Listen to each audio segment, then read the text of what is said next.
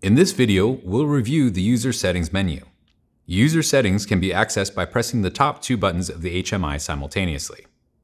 Once in User Settings, you'll see temp set points, active faults, fault history, and depending on configuration, scheduling, fan speed, and outdoor air setting. It is important to note that adjusting scheduling, fan speed, and outdoor air setting can alter unit activation, capacity, and performance.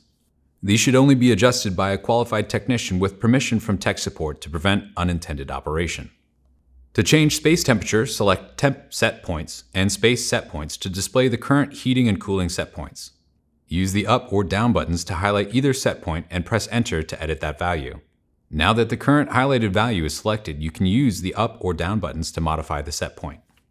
Once the desired changes have been made, you should press the enter again, which will then highlight the entire line, signifying the change has been stored. While increasing a heating set point, don't be alarmed if the cooling set point changes as well. The same is true for decreasing a cooling set point. Our unit will maintain a gap or deadband between the two climate control set points to keep the unit from cycling back and forth frequently between heating and cooling. It is advised that intake set points, discharge limits, and humidity control are not modified as this could affect unit activation, cause unintended discharge temperatures, or result in poor space humidity. Any changes to these set points should be approved by tech support to ensure the unit meets the sequence of operation and ideal building conditions are maintained. Also, in user settings are active faults and fault history.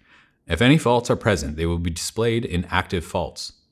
If you have a current active fault, please reach out to CaptiveAire so we can help get it resolved promptly. Fault history will store a log of all past faults with a date and time stamp per fault.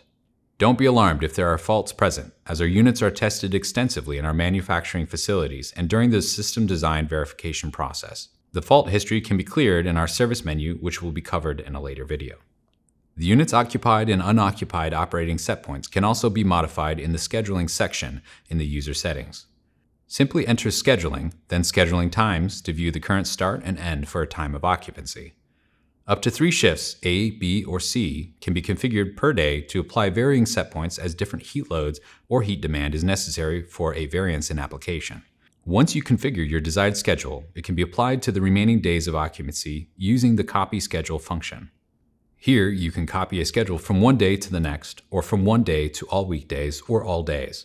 As always, it's important to remember that your unit schedule was configured from the factory for your application. Any change to the schedule should be approved by tech support prior to being made.